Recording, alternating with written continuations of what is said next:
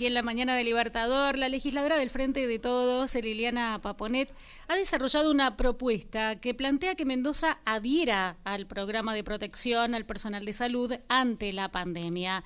Esto ya ha estado ocurriendo en otras provincias. Eh, queremos saber de qué manera eh, propone la diputada provincial que se gestione acá en la provincia de Mendoza. ¿Cómo le va, Paponet? Buen día. ¿Cómo están? Buen día, buen día para vos y para toda la audiencia. Bueno, un placer que podamos dialogar y que nos cuente acerca de esta propuesta de todo el personal de, salud, que bueno, es quien está, son quienes están al frente de la, de la lucha en este momento. Sí, la verdad que son los hoy los que están en la primera línea de, batalla, ¿no? Eh, yo creo que ha, merecido un reconocimiento de, y merece un reconocimiento de todos los poderes políticos como también de toda la sociedad en su conjunto. Esta ley, eh, que también es llamada Ley Silvio, en, homenaje al primer agente de salud que perdió su vida en el marco de la lucha contra el coronavirus. La verdad que algo, algo excepcional que nos ha, que nos ha, nos ha traído a nosotros como provincia, pero también a todo el mundo. Eh, y la verdad que lo que propone esta ley es crear un programa para prevenir el contagio del conjunto del personal que trabaja eh, o que realiza funciones en establecimientos de salud de gestión público-privada entre los trabajadores, las trabajadoras y también voluntarios y voluntarias que están prestando servicios esenciales desde la primera hora.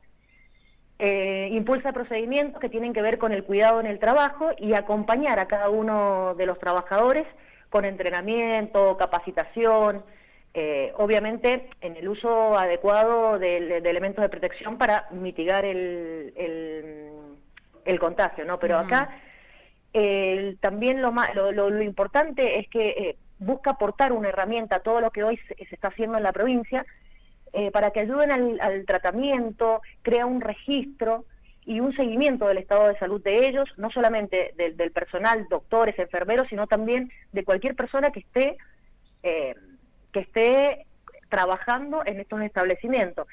Y lo que, ¿por qué entendemos que es necesaria? Si bien esta ley como usted dijo, eh, ya, ya mm, se han adherido varias provincias. Eh, esta ley se, mm, se, sancionó en mayo y recién se reglamentó, hace unos días. Nosotros creemos que todos los esfuerzos que nosotros hagamos eh, para proteger a nuestro personal de salud que están en la primera línea son necesarios. Y lo que, lo que pretendemos dar con esta ley es un fuerte sustento técnico para proteger a ese recurso humano. Nosotros entendemos que como Estado tenemos que tener o tenemos que tomar todos los eh, recaudos necesarios para salvaguardar su vida y la de los seres queridos. Yo estaba leyendo anoche que ya eh, durante en un mes ya han perdido la vida cuatro enfermeros, que es gravísimo. Es gravísimo cualquier vida, pero también es grave y nosotros tenemos que maximizar los esfuerzos y, tener como objetivo principal eh, acompañar y, proteger a, nuestro personal de salud, que esa, esa hoy debe ser eh, nuestra prioridad, ¿no? Diputada, y en cuanto al dinero que se requiera, digo, para todo el acompañamiento desde lo técnico, en el marco de la emergencia, ¿hay posibilidades de contar eh, con eh, ese dinero, con esos recursos para, para ese acompañamiento que se requiere? Eh, la, Nación ha brindado y brinda, eh, ustedes saben bien que la Nación, eh, en función de la provincia que va necesitando, le, va, le va ayudando de acuerdo a su situación crítica. lo que, lo que o sea, debería estar el dinero, debería pedirlo, debería pedirlo, porque en la misma ley te dice que las provincias adhieran a esto.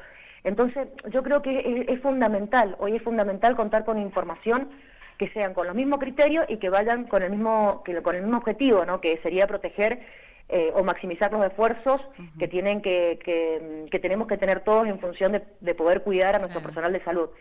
Eh, eh, desde la nación se ha brindado dinero para para la para para, para proteger o para, para estar eh, armar el sistema sanitario. Así que seguramente eh, una vez adhiriéndose, eh, por ahí el personal puede contar, el personal de salud puede contar, que es uno de los reclamos que siempre tenemos, que por ahí no cuenta con el personal o con, con, el, con la protección adecuada. Es verdad. ¿no? Así que Así que nosotros maximizamos y queremos ir ahí, queremos maximizar todos los esfuerzos y que si la, la provincia eh, tiene, que, tiene que pedir a la nación que sea lo suficiente y bueno, que lo haga en función y con el objetivo de esto de acompañar y proteger y maximizar la seguridad de nuestro personal de salud, que son, como usted dijo, eh, desde que están desde la primera hora, ¿no?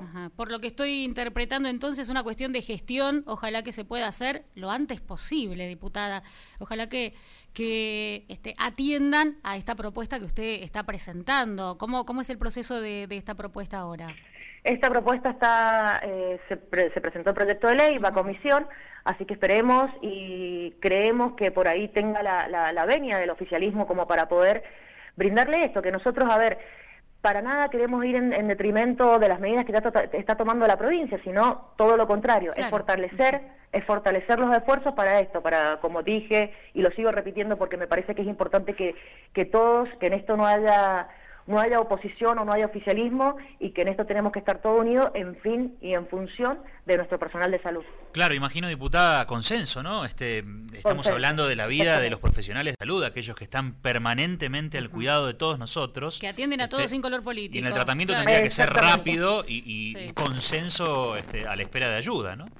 A la espera de ayuda, porque la verdad que en esto en este tema, y bueno, hay, hay, hay algunos temas que, que, que tenemos que dejar y hoy principalmente en este en este momento en esta pandemia que nos ha sorprendido ya lo dije no solamente a la provincia sino a la Argentina y a todo el mundo tenemos que dejar las mezquindades políticas para, para otro tiempo claro que sí. Eh, si se quiere y ponernos a trabajar en conjunto y todos juntos eh, para el reconocimiento de este personal que bueno que, aprovecho y, les mando un fuerte abrazo y, y, decirle gracias por todo lo que están haciendo eh, por nosotros y por ellos mismos, porque están dejando su familia, por estar, eh, eh, como bien se dice, en la trinchera, eh, tratando de hacer que nuestro sistema de salud funcione de la manera que funciona, pero entendemos que necesitan los recursos necesarios y necesitan toda la protección necesaria para evitar para evitar el contagio de ellos y de sus seres queridos, ¿no? Y que la política sanitaria sea prioritaria, ¿no?